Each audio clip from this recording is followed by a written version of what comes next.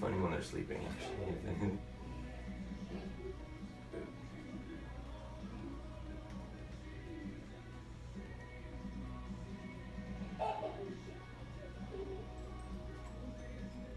I like this little blanket. It's, it's a nice touch. The one. It's a nice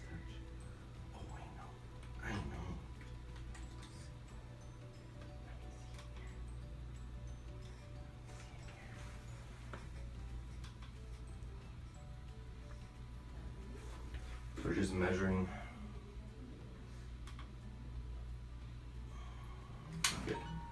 So we're measuring uh, the temperature from left to right because if anything is stressed, it actually changes the temperature, and we want to make sure everything's balanced, right? So and hers is right on. Oh. So that's that's a good that's a good start, right?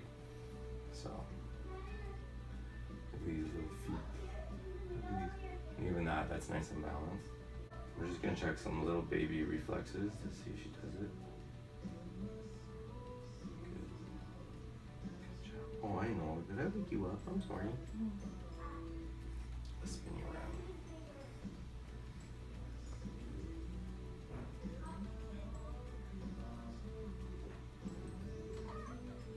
Lot of a lot of this too would just be what the pediatrician would have done too. But You've been right, pediatrician.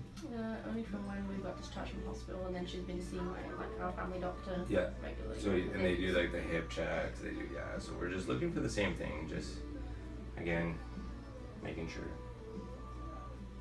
There's nothing. Yeah. We're just gonna check every joint.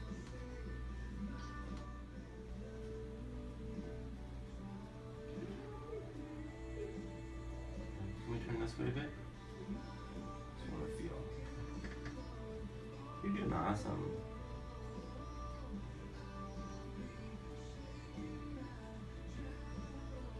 must feel weird, like trying to find the tiny little bones compared to Wait, yeah, you can't. I mean, they're so small that it's not even, and they're not even bones, really, right? A lot of them are still cartilaginous, so we're not even pushing hard. It's just looking, is there resistance? Like, you know, and even little things like like when you see her face, that she always only like some babies come in and are like this, right? It's like there's obviously a More on one problem. side, yeah. So we're just making sure like she's tracking. Like even at this point, she can't even see my face.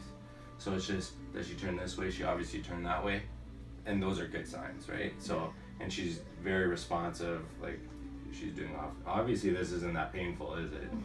You're doing pretty good. But she's nice and balanced. The the top one. So everything looks really good actually. So you're doing awesome. I like that start. Good start to life. Yes.